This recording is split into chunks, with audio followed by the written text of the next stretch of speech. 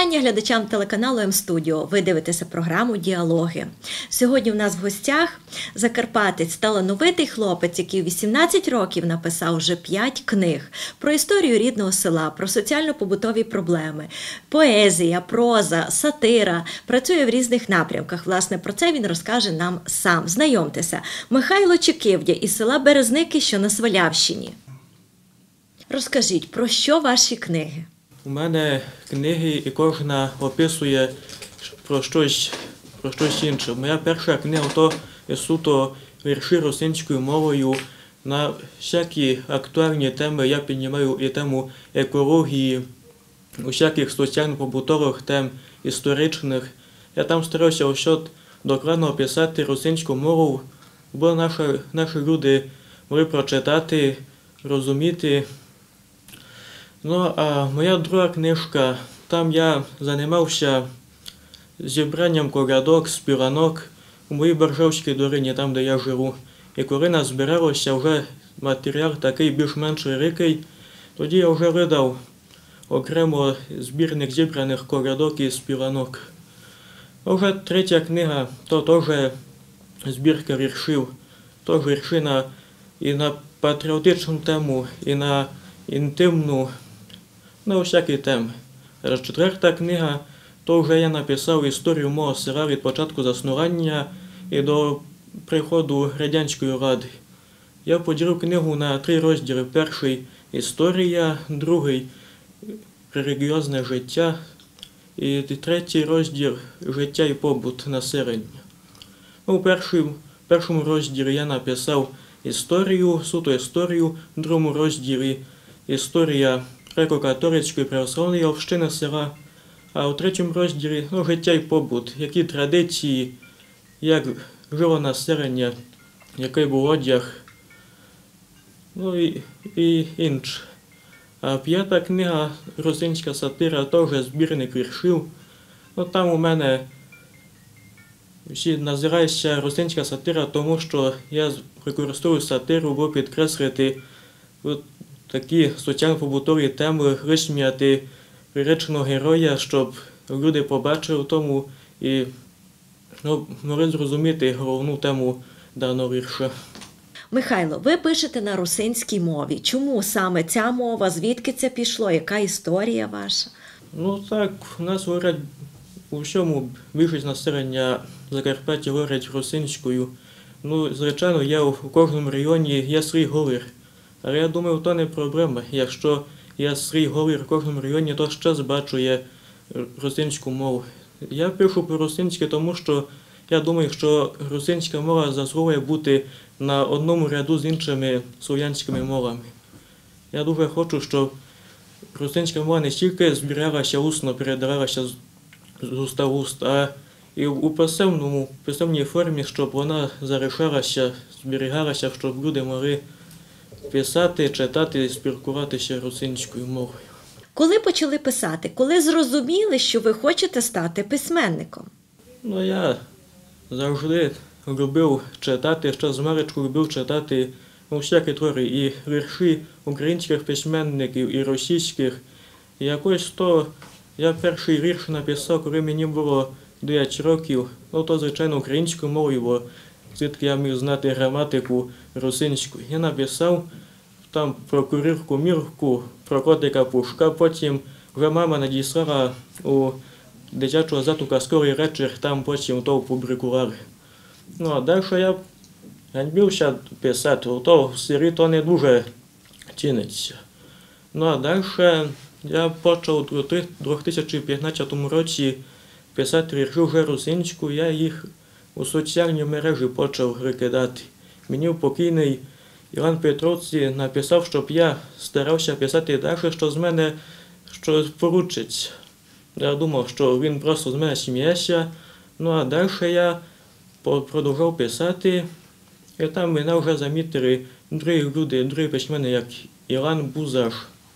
Володимир Рожко, ну і там ще громадські діячі Юрій Продан Бобинець, і вони допомогли, допомогли мені там напечатати мене в якихось виданнях, і так я добився того, що зараз є.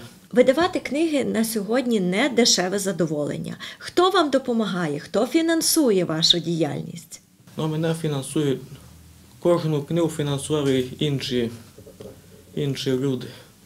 Першу мені фінансував один чоловік, він родом із Ужгорода, тепер працює в Києві. А потім русини із Чехії мені допомагали фінансово. Остання книга Русинська сатира мені допоміг видати Йосиф Гучко, він із Словаччини. Він хоче, щоб я потім ще писав, він буде фінансово підтримувати мою роботу. І, власне, розкажіть про себе. Ну, я на, народився в селі Березники, там фактично живу і дотепер.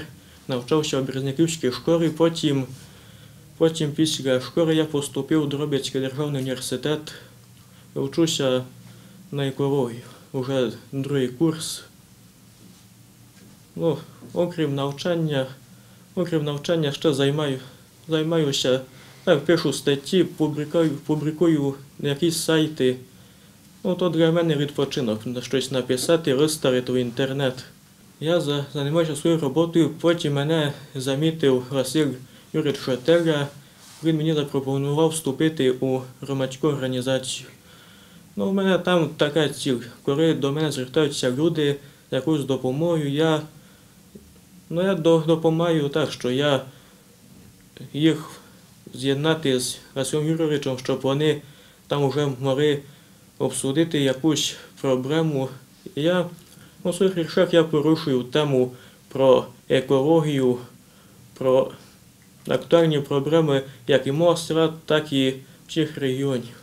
Я думаю, що я тим підкреслюю проблематику. Ну, і коли до мене звертається, то я стараюся допомогти. Михайло, а який ваш улюблений вірш, чи проза, чи уривок? Процитуйте нам. Ну, мені подобається один вірш за русинську мову. О слово рідне, слово материнське, і Прометей ланци, забили люди, що пориси русинське, а по хащах давно чужі дворці. Орел не перестав тебе клювати, а ці ридять наші русини, що рокаши ідуть тя добивати, усі їх діти, доньки й сини. Засвітить сонце, пропаду зір тумани, де засне шуга, божественний огінь, заживуть твої глибокі рани, пропаде тьма, настане світлий день.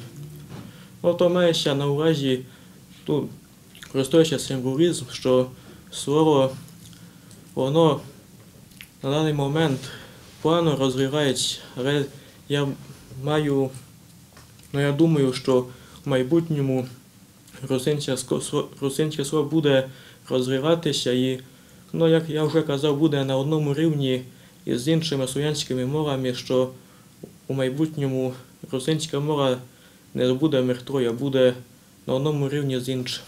Михайло, поділіться, над чим ви зараз працюєте і які ваші плани на майбутнє?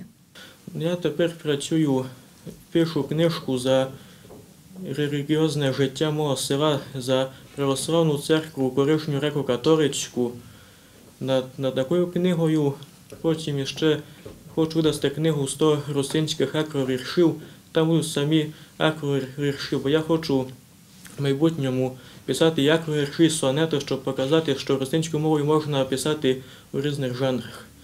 І ще пишу таку роботу по переписах населення. Я пишу, ну, як при Австро-Мадярщині, скільки було русинів, мадярів, румунів. І так, щоб така була статистика, щоб люди могли побачити, як змінювалося населення. Користуючись нагодою, зверніться до закарпатців. Що би ви їм хотіли сказати? Хотів казати, щоб вони не ганьбилися свою рідну мову, бо то мова, яка дана від дідів, прадідів, ту мову треба сокотити і не ганьбитися не де би вони не були, чи то в Європі, чи в усьому світі не треба ганьбитися свого рідного і берегти свої традиції. Що ж, Михайло, бажаємо вам успіху на творчій ниві. Дякуємо, що згодилися з нами поспілкуватися. А вам, глядачі, що дивилися програму Діалоги. Побачимося в наступних ефірах.